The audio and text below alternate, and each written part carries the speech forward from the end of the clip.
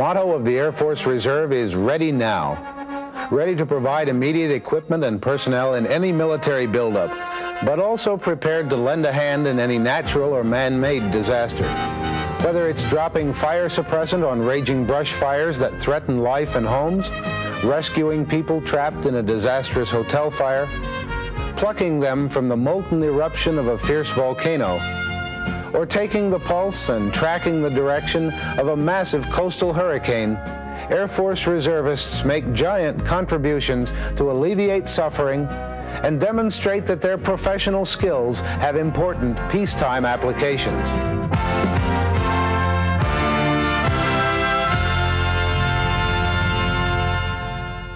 I'm Gil Nyer with a profile report on some of these stories. Airman Magazine and all the national news media highlighted the spectacular eruption of Washington's Mount St. Helens and the human drama that accompanied it. 61 people were rescued by the Air Force Reserve's 304th Aerospace Rescue and Recovery Squadron from nearby Portland International Airport. Technical Sergeant Charles Eck an Air Force Reserve pararescueman who was on the scene at Mount St. Helens, is shown here with one of the families he helped bring out. He will never forget that experience. Charlie, where were you when Mount St. Helens blew up, and how did you respond? Our squadron was having their weekend monthly drill at the base. I was at the pararescue sections. We got a call from operations to tell us that we should get our gear ready, get on the choppers as soon as we could we were on the choppers and up on the mountain within an hour and a half from the time the mountain erupted. What was the scene like when you arrived on the mountain? It was awesome. The trees were blowing down like matchsticks.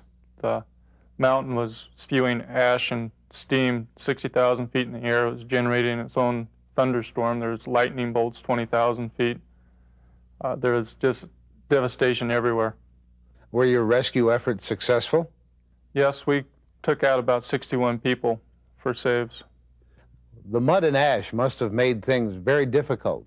Tell us about some of the problems you encountered. Well, when you have to go over the trees in some of the areas where the trees were still standing, the ash on the trees would throw up a cloud of ash and block the view of the helicopter. So we'd have to do about a 200 foot hover and hoist down to the people if we found. And it caused quite a bit of problems because you couldn't see the ground where you were hovering to and being hoisted to. I guess the maintenance people had quite a problem too. They did a super job. Every time we'd come back, they'd wash down the engines completely and turn them around for the next sortie on up to the mountain. They'd really put in a lot of hours and really did some fine jobs.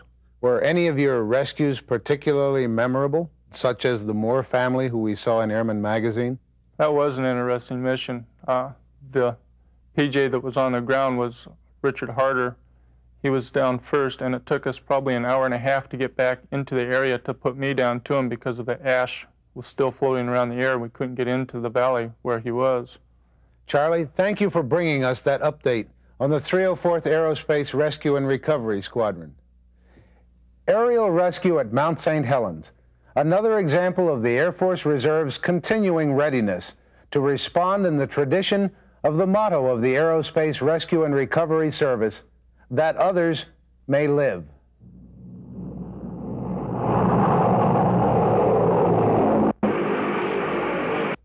In November 1980, Southern California suffered the worst fire season in its history. The president declared it a national disaster area after more than 100,000 acres and hundreds of structures burned, as winds drove flames into housing areas and woodlands alike. And yet the damage would have been worse without a fire suppression unit used by the Air Force Reserve and the Air National Guard, known as MAFFS. Charles Koval, U.S. Forest Service fire suppression expert, helped coordinate the operation. Charlie, what is MAFFS and how does it work? MAFFS is an acronym for Modular Airborne Firefighting Systems. It's a specially designed system with tanks for retardant and compressed air that is placed in the tail section of a C-130. Upon arriving over a fire, the compressed gas causes the retardant to be released through tubes in the tail section and a fire line path is then formed. How significant is the contribution of the C-130s to the overall Forest Service firefighting effort?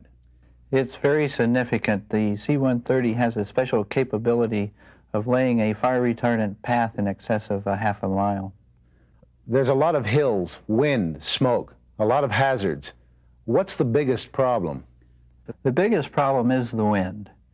Uh, the C-130s can fly in winds up to about 40 miles per hour over mountainous terrain, and the fire itself creates its own wind, causing wind shears, and the pilots have to be very careful of those. I know you were on the Southern California fire lines day and night. How successful were the C-130s in helping to stop those fires? They were very successful. On several of the fires, they saved some homes and aided the firefighters in getting in to build the fire lines. And we got a lot of calls from the community. People were very grateful. Of course, the Forest Service was too. It saved us a lot of money.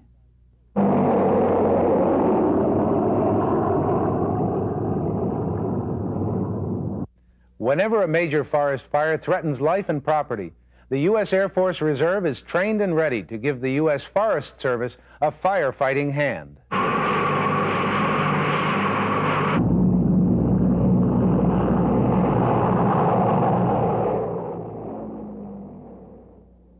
Nature's show of force in a volcanic eruption is perhaps matched by the destructive fury of a major hurricane.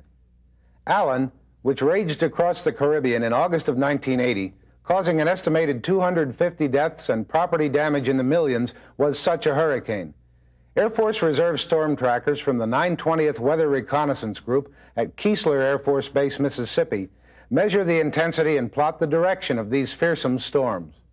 Weather officer Captain Dave McIntosh has frequently penetrated into the eye of hurricanes to provide vital data to the National Hurricane Center near Miami. Dave, what's it like flying into the eye of a hurricane? Well, actually, every penetration into the eye of a hurricane is different. Depending upon the hurricane, the ride can be very smooth or it can be very rough. What's your role as the weather officer? My primary responsibility is to gather certain weather information as we are flying into the eye of a hurricane as well as in the eye itself and send this information back to the National Hurricane Center in Miami where they can analyze the data that I've sent. Well, how is the data used? Well, it's put into a computer, and from this, the computer can plot what has happened in the hurricane and come up with a forecast of the most likely path that the hurricane will take. Are there any new techniques being used in storm tracking? Yes, there are. In fact, NOAA, the National Oceanic and Atmospheric Administration, has provided the funds for us to install the latest electronic equipment on our aircraft that we can gather the data very rapidly and using a satellite data link send this information to the ground much more rapidly than we can at present time. But don't satellites perform the same function basically that you do? They perform basically the same function, but they don't have the accuracy. A satellite may give you accuracy within 60 miles. On the other hand, we provide data within five miles, sometimes much better than that. Captain McIntosh, it sounds as if your Air Force Reserve job is very satisfying. Yes, it is, because it gives us the opportunity of very accurately determining the position of hurricanes, which allows the forecaster uh, much greater reliability in determining how many people to evacuate and which people to evacuate. So we do have a lot of satisfaction in this. So even in an age of satellites, the human factor remains very important in keeping track of a storm. Yes, mainly because of the accuracy that we can provide. Dave, thank you for updating us on the 920th Weather Reconnaissance Group, which performs more than 70% of U.S. hurricane tracking. While Air Force reservists were successfully battling fires in Southern California during the last weeks of November 1980, other Air Force reservists from the 302nd Special Operations Squadron at Luke Air Force Base in Arizona were called upon to rescue people trapped in the burning MGM Grand Hotel in Las Vegas. Captain Mike Martin was the commander of one of three reserve helicopter crews who responded to that situation. Mike, how did you happen to be at Nellis Air Force Base and how did you respond to this situation? Our unit had deployed three aircraft to Nellis to participate in red flag exercise at the time, a month-long uh, war games exercise. At the time of the fire on Friday morning, uh, most of us were in the BOQ uh, in crew rest. Our commander received the uh, request for assistance through the command post, and we launched immediately. Uh, I would say it took about 30 to 35 minutes to get airborne, uh, and it's a short five-minute flight to the MGM Grand Hotel. And what did you find when you got to the fire scene? As we approached the hotel, of course, we saw a lot of smoke uh, billowing up in a mushroom cloud. We orbited the area, talked to the Las Vegas police helicopter on the scene, and uh, tried to figure out how to get the remaining people that were stranded on the balconies off the balconies. Uh, we couldn't just simply lower the force penetrator down from our hoist because of the balcony overhang. Uh, we didn't really know what to do at that time, and the problem was solved by Master Sergeant Bill Reynolds. Bill, could you describe the technique you used for rescue at the MGM Grand? Yes, surely. Uh, the force penetrator attached to our hoist cable is a uh, three-seated fold-out seat arrangement that can lift two people. At this point, I was lowered on the hoist, and with a throw rope, one of our tie-down ropes, tied to the penetrator and threw it to the people on the balcony. They in turn pulled me over to the balcony, and uh, then we proceeded with the rescue from that point of hoisting the survivors off one at a time. Bill, can you tell us something about how the people who were trapped on those balconies reacted when they saw your helicopter approaching? Well, very relieved would be stating it mildly. They were very glad to see us, and uh, I do believe that possibly our presence with the hoist capability prevented more people from jumping from the balconies. Thank you, Bill. Mike, isn't it a little bit unusual for a unit like yours, a Special Operations Squadron, to be so well trained in rescue techniques? Uh, no, not at all. Uh, many of the combat techniques uh, that we practice daily are certainly applicable to uh, rescue. Uh, in fact, uh, over the years, we have been credited with saving dozens of lives and using techniques just like we did at the MGM Grand. In fact, in the case of the, of the hoist and the force penetrator, this is a technique that we practice almost daily, and the fellows are very familiar with it, and it's a very common thing for us to use. Well, Bill, did you ride up the hoist with the rescued survivors each time? Uh, no, I didn't. Uh, my decision at the site was one at a time.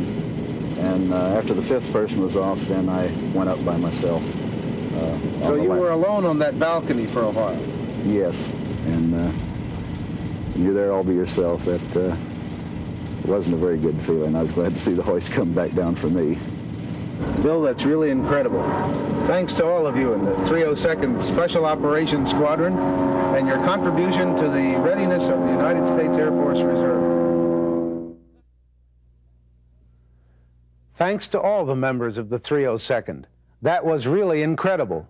This is reflected in the appreciation of all the Air Force Reserve, from the Chief on down. And the Chief himself is on hand now at the Pentagon. It's a pleasure to welcome Major General Richard Bodycombe. Thank you, Gil. It's my privilege to be here this morning to be able to talk to you about the Air Force Reserve. Sir, 1980 was a year of many unique Air Force Reserve achievements, particularly in the area of disaster relief, as we've just seen. I'm sure you're proud of the achievements of all your units. What do you see as the greatest challenge for the decade of the 80s? Gil, that's a, a, tough question to answer. Uh, I'd like to say uh, that it is going to be difficult to continue our momentum. We've uh, got this force at a very high peak now, and then we've got to keep it rolling. And conversion is facing us in a number of units. Conversions are difficult times for reservists. You have to learn new airplanes and uh, new skills, and we often turn over the unit. Our problem simply is going to be to recruit, continue to recruit, up to the level of full strength and also to continue to retain. Retain the very finest uh, people in our unit. Thank you, General Bodycombe. I'm sure the 80s will continue to provide important opportunities for all Air Force reservists to demonstrate their ability to meet any challenge. They're involved in many other humanitarian assistance programs supporting their local communities. An actual jumbo jet crash in Florida some years ago led to emergency exercises that realistically test disaster response to similar potential mishaps at Miami's International Airport. Air Force Reserve rescue units are training to support our nation's space program. Assuring that if an emergency arises, the men and women who seek new space frontiers are safe in any contingency. Astronauts have the confidence that should the need develop, skilled Air Force Reserve rescue personnel are poised to assist. Whether or not they have rescue in their mission, all Air Force Reserve units stand ready to assist in any emergency. Whenever needed, anywhere in the world, the Air Force Reserve is indeed ready now.